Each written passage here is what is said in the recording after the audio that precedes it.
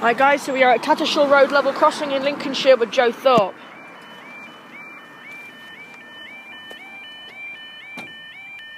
There we go, this is for heavily delayed um, 1348 2 Sierra 16 East Midlands train service from um, Notting from Skegness, Nottingham. Time now is 13.59 on Friday the 24th of October 2014. We've got 156411 to Nottingham.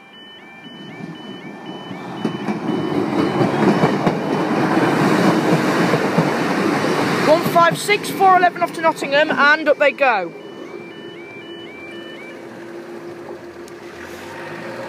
Thank you guys. I'll see you in the next video.